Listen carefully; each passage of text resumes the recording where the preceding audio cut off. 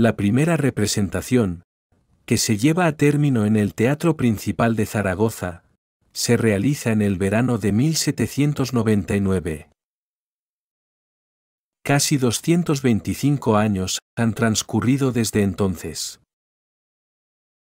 Pero para conocer sus orígenes, tenemos que remontarnos a 1590. En ese año, en el solar que hoy ocupa el Banco de España, se inaugura la denominada por aquel entonces Casa de Farsas. Su estructura arquitectónica recrea el típico corral de comedias, propio de la cultura española e inglesa. Nacida bajo los auspicios del Hospital Provincial de Nuestra Señora de Gracia, y del municipio zaragozano, tiene por objeto contribuir a la financiación de dicho centro sanitario, cuyos orígenes se remontan al año 1425, cuando el rey de Aragón, Alfonso V, otorga licencia para su construcción, convirtiéndose con el discurrir del tiempo, en uno de los cinco hospitales más importantes de España.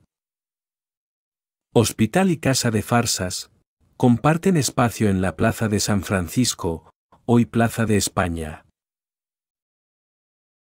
Pues bien, durante cerca de dos siglos, los zaragozanos acuden a ese espacio, objeto de sucesivas remodelaciones y diseños de nueva planta, para disfrutar de las últimas novedades teatrales.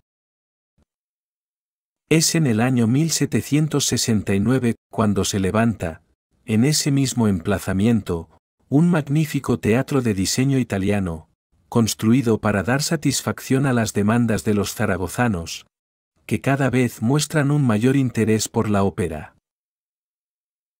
El nuevo y elegante teatro, con capacidad para 1.300 personas, abre sus puertas el 7 de septiembre. Desgraciadamente, nueve años después, se produce una terrible tragedia. En la tarde del 12 de noviembre de 1778, la compañía de ópera italiana, del empresario Giuseppe Crous, actúa en Zaragoza. Integran el elenco ocho cantores, doce bailarines, y los músicos. Se interpreta Artajerjes, con música de Leonardo Vinci, y libreto del poeta Pietro Metastasio. En la gala, están presentes destacados miembros de la nobleza local, y de la administración zaragozana. Alrededor de las seis y cuarto de la tarde, durante un entreacto, un imprudente mozo de bastidores, deja caer una vela sobre uno de los decorados, que comienza a arder. Los espectadores no son conscientes de la desgracia, pues los hechos están aconteciendo detrás del telón. Pero entonces, el primer actor aparece en el escenario, advirtiendo de que hay fuego, lo que provoca el pánico entre el público. El empresario, pensando que el fuego está controlado, tranquiliza a los presentes, que vuelven a ocupar sus asientos. Pero las llamas se propagan entre bambalinas, a toda velocidad. Las cuerdas que sujetan las arañas de cristal se prenden, cayendo éstas al suelo con gran estrépito. La gente, despavorida, trata de huir, empujándose unos a otros. El humo provoca los primeros desmayos. En el exterior, la población advertida del drama que se está viviendo, se moviliza con rapidez.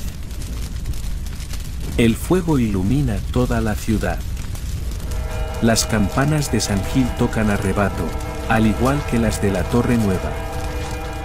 Son convocados albañiles, aguadores, carpinteros, y toda clase de obreros provistos de azadas y espuertas. Los más osados, se internan en el Coliseo, tratando de rescatar a los desdichados que tratan de escapar del fuego.